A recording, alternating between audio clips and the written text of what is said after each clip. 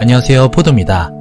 어, 우리나라에서는 새해를 맞이하는 음식으로 떡국을 먹죠. 그리고 일본에서도 이와 같은 의미로 한 해를 마무리하는 의미로 먹는 음식이 있습니다. 오늘 소개해드릴 음식이 바로 그것인데요. 바로 토시코시 소바입니다.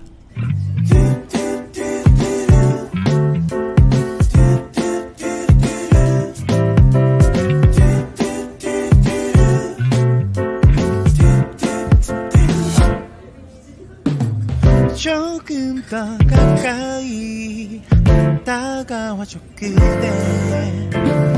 이대로 내 곁에 머물러줘 그대.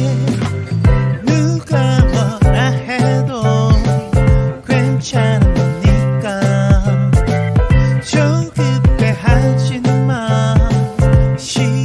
충분해. 안녕하세요 포도입니다. 어, 저는 지금 쿠시다 신사 쪽에 나와 있는데요. 이곳에서 반대편으로 시선을 살짝 돌리셔서 한 100m 가량 정도 될 거예요. 그 정도 이동을 하시면 아주 맛있는 소바집이 하나 있습니다. 바로 신슈 소바 무라타라는 곳인데요. 이 신슈라는 말은요, 사실 나가노의 옛 명칭입니다. 그리고 이곳 신슈는요, 메밀의 발상지로 알려져 있는 곳이기도 합니다. 음, 조금 이야기가 재밌어집니다. 이곳 신슈라는 곳은 메밀의 발상지고요. 그리고 제가 일전에 다른 영상에서 설명드렸던 것 같이 제가 살고 있는 곳 이곳 후쿠오카는 우동과 소바의 발상지입니다. 결국 이곳 무라타라는 곳은요. 메밀의 발상지와 그리고 후쿠오카라고 하는 소바의 발상지의 두 교집합을 가지고 있는 그런 재밌는 가게가 되는 셈입니다. 지금 가게 안으로 들어왔고요. 어, 메뉴판이 꽤나 예쁘장해요. 참고로 이 메뉴판은요, 영문 버전과 한국어 버전도 있으니까 참고하셨으면 하고요. 그리고 오늘 제가 선택한 메뉴는요, 화면에서 보시는 것처럼 야채 덴푸라 소바입니다. 가격은 1750엔입니다. 지금 가게 내부를 보여드리고 있는데요. 어, 가게가 좁아 보이긴 하지만 실제로 그렇진 않습니다. 꽤나 넓은 편이고요. 그리고 2층까지도 있기 때문에 꽤나 쾌적하게 식사를 하실 수 있는 곳입니다.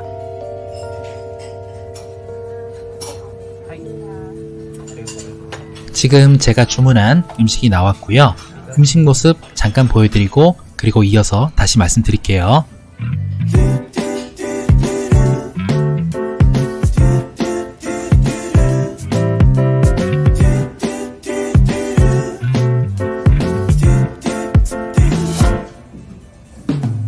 조금 더 가까이 다가와줘 그대 이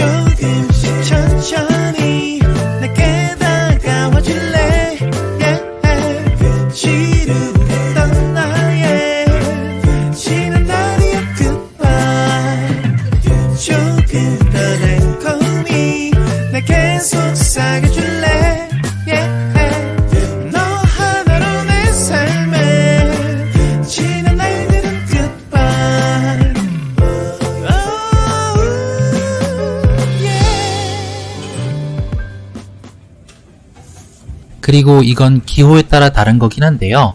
어, 지금 나온 이 덴푸라를 소바 위에 올려서 드시는 분들도 계시고요. 저 같은 경우는 어, 덴푸라는 덴푸라대로 즐기고요. 그리고 소바는 소바대로 즐기는 그런 스타일이긴 합니다. 참고 삼아서 말씀드려요. 이제 식사를 시작을 했는데요. 어, 저는 모든 음식 영상에서도 그렇습니다만 알고 먹으면 더 맛있는 게 음식이라고 생각을 하거든요. 그리고 오프닝에서 말씀드린 것처럼 제가 오늘 소바를 먹으러 온 이유는요.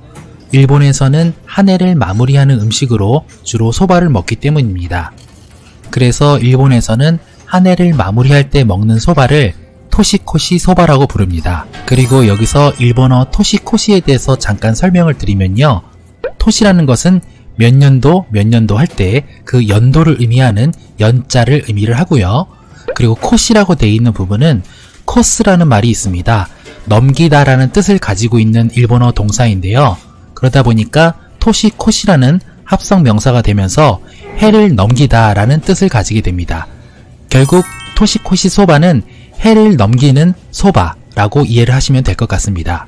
그렇다면 일본 사람들은 그 많은 음식들 중에서 음, 새해를 맞이하는 그리고 해를 넘기는 그 음식의 대상으로 하필 그 많은 음식 중에서도 소바를 먹는 걸까요? 그것에 대해서 지금부터 간단하게나마 좀 설명을 드려볼게요. 사실 이것에 대한 설은요, 크게 두 가지가 있습니다. 어, 소바의 모습을 보면 그 이유를 좀 파악을 할 수가 있는데요. 소바를 보시면 가늘고 길게 되어 있습니다. 그리고 먹을 때 소바 면 자체가 툭툭 쉽게 끊어지는 그러한 특성을 가지고 있는 데서 오는 건데요. 그 첫 번째는요. 소바가 가늘고 길게 생긴 모습으로 되어 있죠. 그러다 보니까 다가오는 새해에는 소바처럼 가늘고 길게 보낼 수 있기를 기원한다는 의미가 담겨 있습니다. 그리고 마지막 두 번째 이유는요.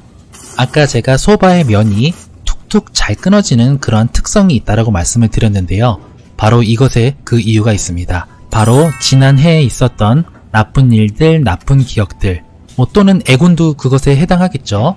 그러한 나쁜 것들을 소바가 툭툭 잘 끊어지는 것처럼 그러한 나쁜 기억들, 나쁜 일들, 그러한 애군들을 끊어서 없애버린다라는 그러한 의미를 가지고 있기 때문입니다. 결국 일본 사람들이 해를 넘기는 소바인 토시코시 소바를 먹는 이유는 이 두 가지의 이유로 인해서 지금까지 관습처럼 해를 넘길 때 소바를 먹는 그러한 풍습이 있습니다.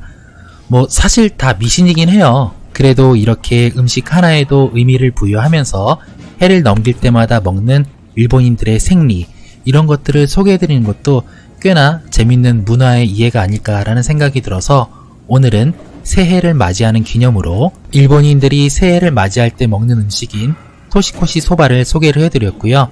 그리고 무엇보다도 제가 살고 있는 이곳 후쿠오카에서 소바가 맛있기로 굉장히 유명한 곳인 신슈 소바 무라타라는 곳을 소개해 드렸습니다. 어, 어느덧 올해도 이제는 하루가 더 남았네요.